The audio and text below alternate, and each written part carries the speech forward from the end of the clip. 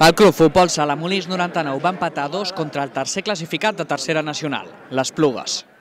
Els entrenats per Jorge Rubio van fer mèrits suficients per emportar-se la victòria, sobretot a la segona part, però no es pot dir que l'empat va ser injust.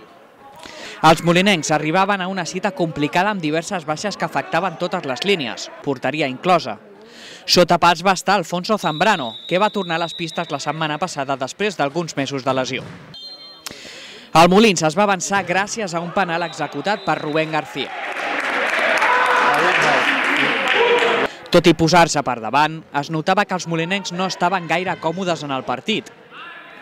Les Plugues va reaccionar ràpidament i va aconseguir l'empat amb un gol de Víctor Capellades. Els visitants no es van conformar i van passar a l'atac. Carlos Anton va avançar les Plugues abans d'arribar a la mitja part. L'electrònic no es va moure més durant la primera part i es va arribar al descans amb 1-2. Si a la primera part les Plugues va ser lleugerament superior, la segona va ser del Club Futbol Sala Molins 99. Homes com Àlex Sánchez Ajo o Ramon Correa van crear molt de perill. Precisament Correa va ser l'autor de l'empat a dos.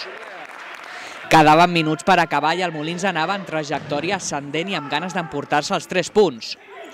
Tots dos equips van arribar a les 5 faltes i tot feia pensar que un dels dos s'emportaria la victòria.